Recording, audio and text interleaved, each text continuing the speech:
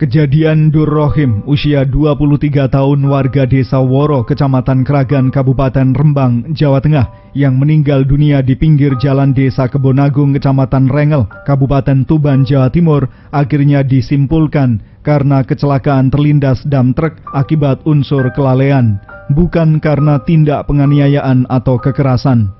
Paman korban, Supardi, hari Senin 19 April 2021 mengaku sudah menerima surat pemberitahuan perkembangan hasil penyidikan dari Polres Tuban, Jawa Timur yang menangani kasus tersebut. Dalam surat itu dicantumkan bahwa penyidik sudah melakukan gelar perkara. Hasilnya, korban Durokim yang meninggal dunia pada tanggal 13 Agustus 2020 lalu terlindas dam truk. Polisi juga sudah menetapkan seorang tersangka, yakni sopir dam truk berinisial AW, 31 tahun, warga Kabupaten Rembang. Posisi truk AW parkir berdampingan dengan truk yang dinaiki korban. Saat menjalankan kendaraan, sang sopir AW tidak mengetahui kalau korban sedang istirahat di bawah truk. Atas hasil itu, Supardi menyatakan tidak terima keponakannya Durokim disimpulkan meninggal dunia karena terlindas truk. Ia beralasan kalau melihat kondisi luka korban yang janggal, pihaknya menduga kuat ada unsur penganiayaan. Ya sangat kecewa Pak, tidak sesuai dengan fakta yang yang saya lihat sendiri pecahnya kepala itu bukan karena terlindas ban.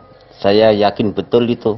Kalau memang ada yang masih tidak percaya kalau itu tidak terlindas ban, ya saya berani taruhan itu. Siapa yang berani di kepalanya dilindas dulu? Kembalikan kasus laka. Di situlah kami kecewa. Sudah dilaksanakan laksanakan otopsi. Di hasilnya dikembalikan lagi ke kasus laka. Saya tidak terima Pak.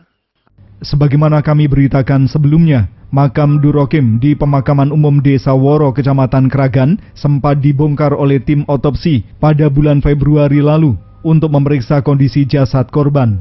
Saat otopsi berlangsung, kala itu sudah setengah tahun lebih dari peristiwa Durokim meninggal dunia. Almarhum meninggalkan seorang istri dan seorang anak laki-laki yang kini berjuang hidup setelah tulang punggung keluarga berpulang untuk selama-lamanya.